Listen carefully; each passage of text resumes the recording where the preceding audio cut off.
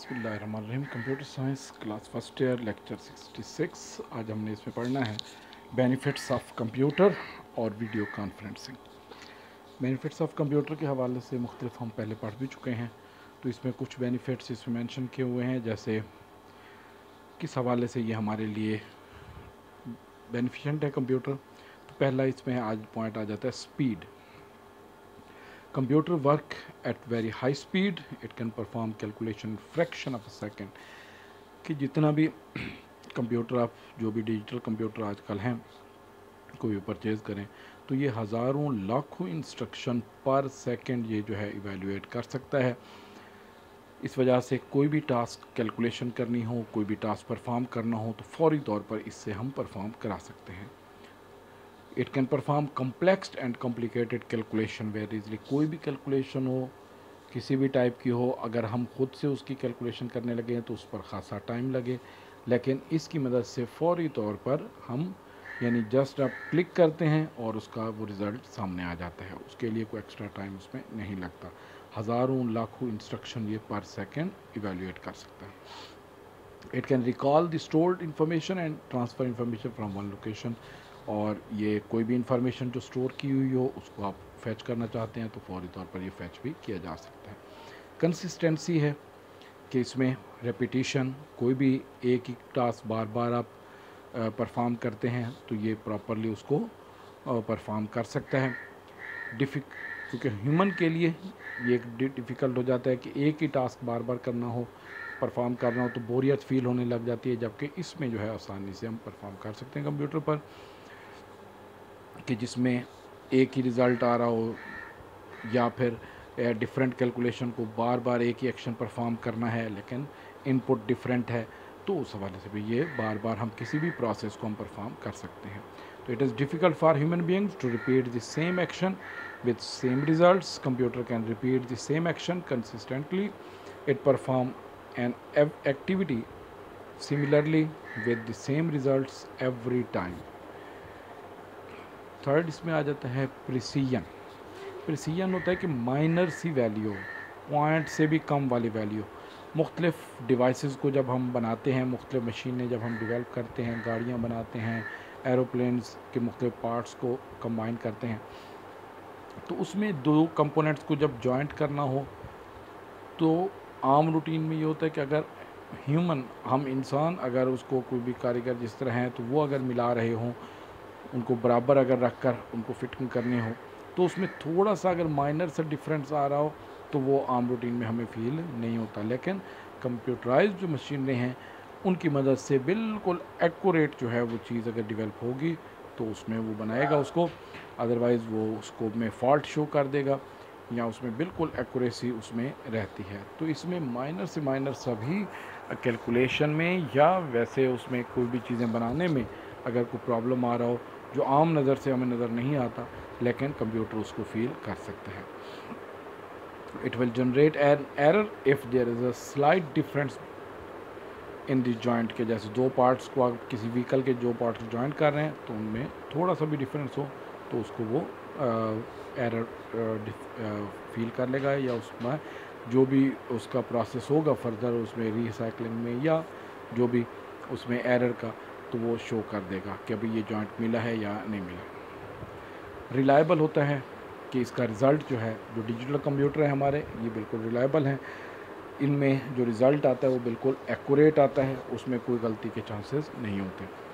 Computer is a reliable machine it strictly follow the instruction without any variation जो हम instruction देंगे, उसने उसी के मुताबिक उसको फॉलो करना है। उसके मुताबिक ऐसा नहीं हो सकता कि हम इंस्ट्रक्शन दें और वो कोई और इंस्ट्रक्शन फॉलो कर ले या सीक्वेंस चेंज कर दे तो खुद से वो सीक्वेंस चेंज नहीं करेगा।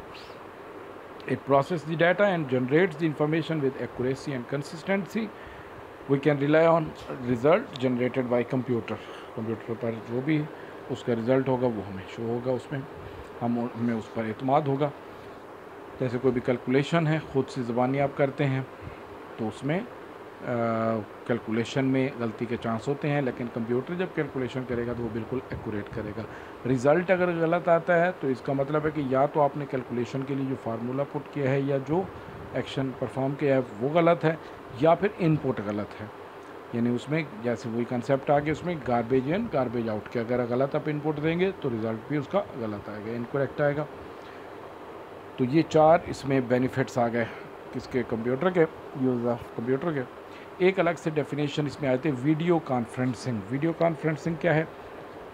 कि लैप कंप्यूटर लैपटॉप या मोबाइल की मदद से लाइव कन्वर्सेशन करना, कि आपकी वीडियो या आपकी जो पिक्चर है लाइव वो वहाँ तक, किसी और पर्सन तक जा रही हो, उसकी वीडियो या उसकी लाइव पिक्चर आप तक आ रही हो, साथ में आप आवाज़ भी ट्रांसमिट कर रहे हो, साथ में कोई टेक्स्ट भेजना चाहें तो वो भी भेज रहे हो। इसको कंप्यूटर की मदद से भी परफॉर्म कर सकते हैं लैपटॉप की मदद से भी परफॉर्म कर सकते हैं। आजकल मोबाइल की मदद से आसानी से आप परफॉर्म कर सकते हैं। मुख्तलिफ़ सॉफ्टवेयर जैसे मोबाइल पर ये व्हाट्सएप की मदद से परफॉर्म हो सकता है। कंप्यूटर पर ये स्काइप की मदद से भी हो सकता है लाइव कन्वर्सेशन या मुख्तलिफ़ और सॉफ्टवेयर हैं जिसकी मदद से हम कन्वर्सेशन परफॉर्म करते हैं।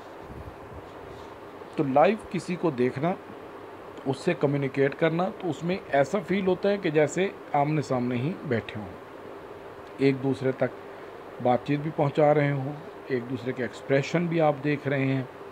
ठीक तो फेस एक्सप्रेशन भी आप देख रहे हैं, साथ में उससे बातचीत भी हो रही है, कोई भी ऐसा डाटा क्योंकि जब हम कम्युनिकेशन की बात करते हैं तो बाज़ चीज़ें ऐसी हैं जो टेक्स्ट की फॉर्म में प्रॉपरली ट्रांसलेट हो सकती हैं।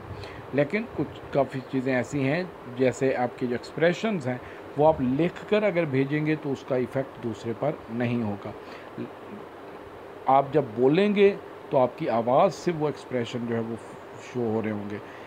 या फिर आपकी आवाज़ से भी बाज़ ये एक्सप्रेशन शो नहीं हो रहे होते तो उसमें फेस एक्सप्रेशन से आप उस बात को, जैसे अगर आप उसमें बहुत ज़्यादा खुश हैं या गमगीन हैं या कोई उसमें तो आप कि अगर अल्फाज लिख कर भेजेंगे तो उसमें इतना इफ़ेक्ट नहीं होगा। आपकी आवाज़ वैसी आ रही होगी तो ज़्यादा इफ़ेक्ट होगा। साथ में आपकी जो फेस लुक है, वो वैसे आ रहे हो तो ज़्यादा। तो ये वीडियो कॉन्फ्रेंसिंग जो है, इसकी मदद से दूर दराज इलाकों में आपके जो जानने वाले होते हैं, उनके साथ आप कम्युनिकेट कर सकते हैं। तो यह टेक्नोलॉजी जो है, जो डेवलप हुई है, जब से मोबाइल में ये three G four G connection आया तो ये आसानी से हम लाइव कन्वर्सेशन कर सकते हैं। तो video conferencing is a type of conferencing in which video cameras and microphone are use in discussion it provide an environment for for normal meeting it enable participant to see hear and present material uh, present material to one another as if they are in the same room. जैसे एक ही room में बैठे हों आपस में एक दूसरे को देख भी रहे हैं, बातचीत भी कर रहे हैं तो उसमें video conferencing can speed up business process and procedure business के हवाले से पहले अगर किसी से मीटिंग करनी हो, कोई इन्फॉर्मेशन लेनी है या मीटिंग करनी है तो आपको वहाँ जाना पड़ता है, जबकि अब लाइव कन्वर्सेशन से हम आसानी से उसको कन्वर्ट कर सकते हैं। जैसे इन्फॉर्मेशन ले सकते हैं, जैसे पहले आप एक क्वेश्चन पहले चैप्टर में हमने पढ़ा था एसडीएलसी का, कि उसमें मुख्तलिफ़ डाटा गैदरिंग टेक्निक्स थी। तो उसमें क्वेश्चन की मदद से दूर दराज इलाकों में जो लोग हैं वहाँ से इन्फॉर्मेशन कलेक्ट की जाती लेकिन आजकल वीडियो कॉन्फ्रेंसिंग की मदद से आप इंटरव्यू के तौर पर आप इन्फॉर्मेशन सारी कलेक्ट कर लेते हैं। इसके बेनिफिट्स में it is an easy way of conducting meeting कि मीटिंग जो है कोई भी कंडक्ट करना है तो वो आसानी से हो सकती है। जैसे आजकल लॉकडाउन है तो उसमें एक जगह पर मुख्तलिफ़ लोग इकट्ठे होना ये खासा प्रॉब्लम हो सकता है। जबकि वीडियो कॉन्फ्रेंसिंग की मदद से आप तीन, चार लोग, पाँच लोग इकट्ठे बैठ कर आप कम्युनिकेट कर सकते हैं।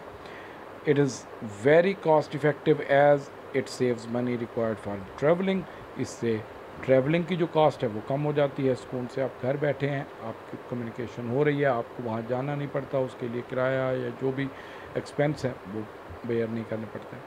It saves a lot of time and effort कि इससे हमारे पैसों की और कोशिशों की यानी एफर्ट है स्ट्रगल है, वो की बचत हो जाती है। कि जो टाइम ट्रैवलिंग ट्रैवलिंग पर ज़ाय करना है, जैसे यहाँ से अगर मुल्तान में किसी के साथ कम्युनिकेट करना है आपने तो वहाँ जाने की बजाय एक लाइव कन्वर्सेशन कर लेते हैं तो आप आसानी से उसमें, आपका जाने का, आने का टाइम जो है वो उसमें खर्च नहीं होगा। ठीक है?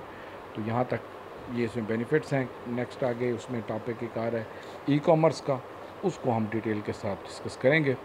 ओके अल्लाह हाफिज़